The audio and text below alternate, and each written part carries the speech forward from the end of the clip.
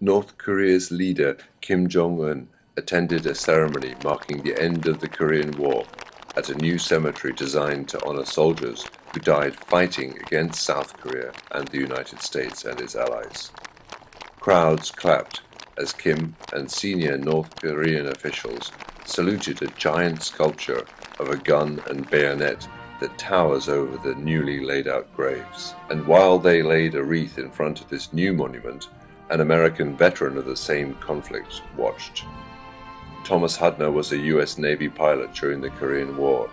He has come back to North Korea in search of the remains of his friend Jesse Brown, who died during the war. Well, it's a very emotional occasion to be here with so many veterans, but not only the veterans, but for the people of the nation who have turned out to show their support to all the veterans. And uh, as, a, as an American veteran, I'm delighted to see that uh, our former foe and we share some of the same feelings about this. This new cemetery opening is just the first of a series of events over the coming days that Pyongyang hopes will reinforce its version of the history of the Korean War. Raphael Wober, Associated Press, Pyongyang.